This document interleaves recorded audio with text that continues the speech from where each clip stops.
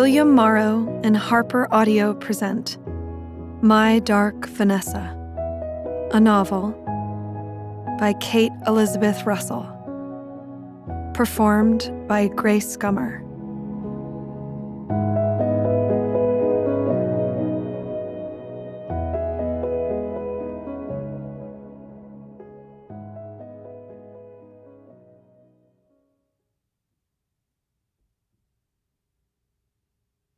Author's Note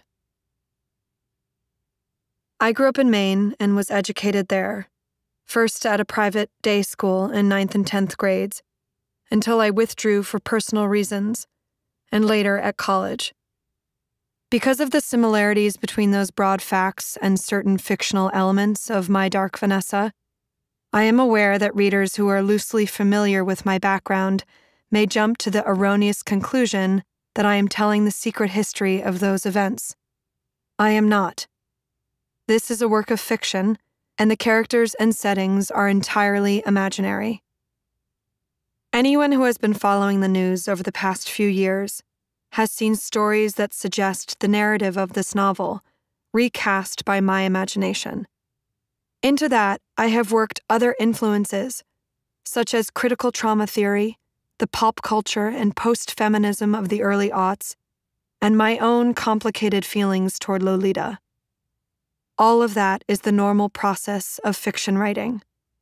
But in a surfeit of caution, it bears repeating that nothing in the novel is intended as recounting any actual events. Apart from the broad parallels noted here, this is not my personal story, nor that of my teachers or of anyone I know. 2017.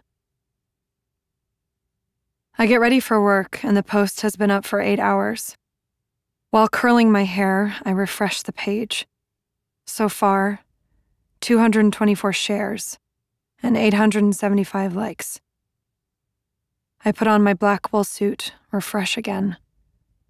I dig under the couch for my black flats, refresh. Fasten the gold name tag to my lapel, refresh.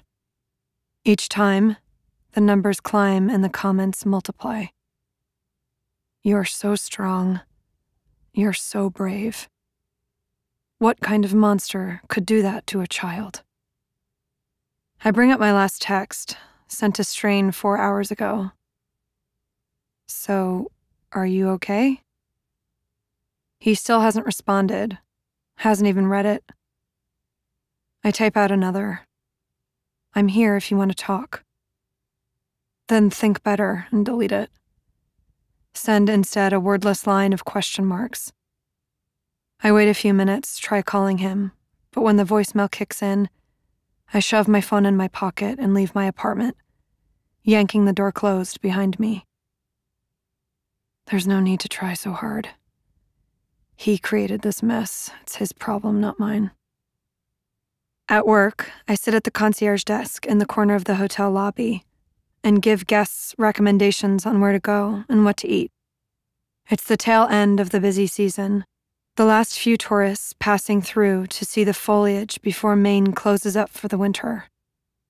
With an unwavering smile that doesn't quite reach my eyes, I make a dinner reservation for a couple celebrating their first anniversary and arrange for a bottle of champagne to be waiting in their room upon return. A gesture that goes above and beyond. The kind of thing that will earn me a good tip. I call the town car to drive a family to the jetport. A man who stays at the hotel every other Monday night on business brings me three soiled shirts. Asks if they can be dry cleaned overnight. I'll take care of it, I say. The man grins, gives me a wink. You're the best, Vanessa. On my break, I sit in an empty cubicle in the back office, staring at my phone as I eat a day old sandwich left over from a catered event. Checking the Facebook post is compulsive now. I can't stop my fingers from moving or my eyes from darting across the screen, taking in the rising likes and shares, the dozens of you're fearless. Keep telling your truth. I believe you. Even as I read, Three dots flash. Someone is typing a comment right this second. Then, like magic, another appears. Another message of strength and support that makes me slide my phone across the desk and toss the rest of the stale sandwich in the trash. I'm about to head back out into the lobby when my phone begins to vibrate. Incoming call, Jacob Strane. I laugh as I answer, relieved he's alive, that he's calling. Are you okay? For a moment, there's only dead air, and I freeze. My eyes fixed on the window that looks out on Monument Square, the autumn farmers market and food trucks. It's the beginning of October, full blown fall, the time when everything in Portland appears straight out of an LL Bean catalog pumpkins and gourds, jugs of apple cider. A woman in plaid flannel and duck boots crosses the square, smiling down at the baby strapped to her chest. Strane? He exhales a heavy sigh. I guess you saw. Yeah, I say. I saw. I don't ask questions, but he launches into an explanation anyway. He says the school is opening an investigation, and he's bracing himself for the worst. He assumes they'll force him to resign. He doubts he'll make it through the school year, maybe not even to Christmas break. Hearing his voice is such a shock that I struggle to keep up with what he says.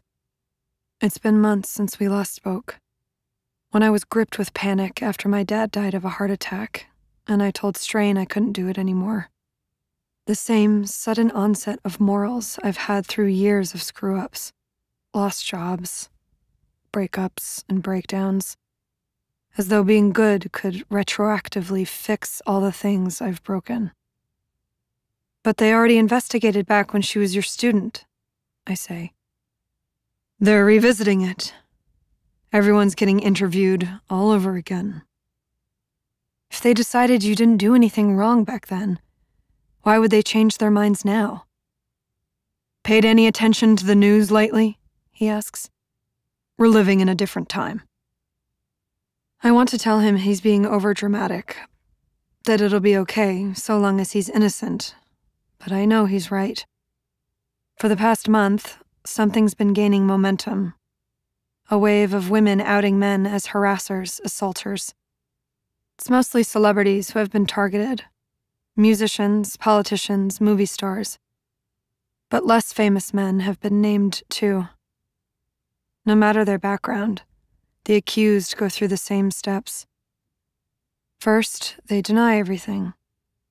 Then, as it becomes clear the din of accusations isn't going away, they resign from their jobs in disgrace and issue a statement of vague apology that stops short of admitting wrongdoing.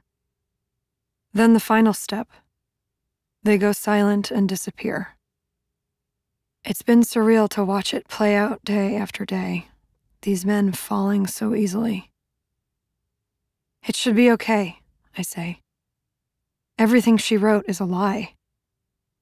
On the phone, Strane sucks in a breath air whistling through his teeth. I don't know if she is lying. At least, not technically. But you barely touched her. In that post, she says you assaulted her. Assault? He scoffs. Assault can be anything. Like how battery can mean you grabbed someone by the wrist or shoved their shoulder. It's a meaningless legal term. I stare out the window at the farmer's market, the milling crowd, the swarming seagulls. A woman selling food opens a metal tub, releasing a cloud of steam as she pulls out two tamales. You know, she messaged me last week. A beat of silence. Did she? She wanted to see if I'd come forward too. Probably figured she'd be more believable if she roped me into it. Strane says nothing. I didn't respond, obviously. Right, he says. Of course. I thought she was bluffing. Didn't think she'd have the nerve. I leaned forward, press my forehead against the window. It'll be okay. You know where I stand. And with that, he breathes out.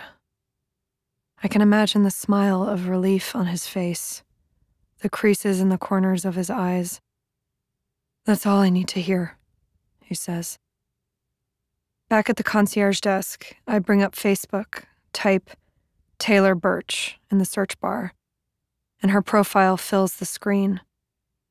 I scroll through the sparse public content I've scrutinized for years the photos and life updates, and now at the top, the post about Strane.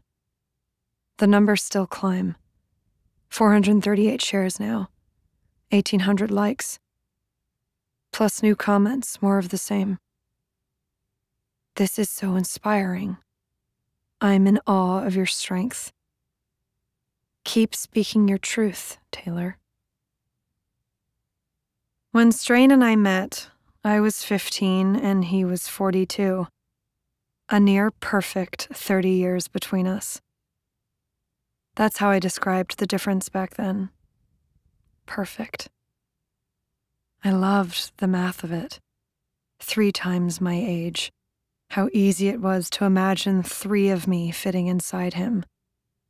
One of me curled around his brain, another around his heart the third turned to liquid and sliding through his veins. At Browick, he said, teacher student romances were known to happen from time to time, but he'd never had one because before me, he'd never had the desire. I was the first student who put the thought in his head. There was something about me that made it worth the risk. I had an allure that drew him in. It wasn't about how young I was, not for him. Above everything else, he loved my mind. He said I had genius level emotional intelligence and that I wrote like a prodigy. That he could talk to me, confide in me. Lurking deep within me, he said, was a dark romanticism, the same kind he saw within himself. No one had ever understood that dark part of him until I came along. It's just my luck, he said, that when I finally find my soulmate, she's 15 years old. If you want to talk about luck, I countered, try being 15 and having your soulmate be some old guy. He checked my face after I said this to make sure I was joking. Of course I was. I wanted nothing to do with boys my own age. Their dandruff and acne, how cruel they could be, cutting girls up into features, rating our body parts on a scale of 1 to 10. I wasn't made for them. I loved Strane's middle aged caution, his slow courtship. He compared my hair to the color of maple leaves, slipped poetry into my hands Emily, Edna, Sylvia. He made me see myself as he did a girl with the power to rise with red hair and eat him like air. He loved me so much that sometimes after I left his classroom, he lowered himself into my chair and rested his head against the seminar table, trying to breathe in what was left of me. All of that happened before we even kissed. He was careful with me. He tried so hard to be good. It's easy to pinpoint when it all started. That moment of walking into his sun soaked classroom and feeling his eyes drink me in for the first time. But it's harder to know when it ended, if it really ended at all. I think it stopped when I was 22, when he said he needed to get himself together and couldn't live a decent life while I was within reach. But for the past decade, there have been late night calls, him and me reliving the past, worrying the wound we both refused to let heal. I assume I'll be the one he turns to in 10 or 15 years, whenever his body begins to break down. That seems the likely ending to this love story. Me dropping everything and doing anything, devoted as a dog, as he takes and takes and takes. I get out of work at 11 and move through the empty downtown streets counting each block I walk without checking Taylor's post as a personal victory. In my apartment, I still don't look at my phone. I hang up my work suit, take off my makeup, smoke a bowl in bed, and turn off the light.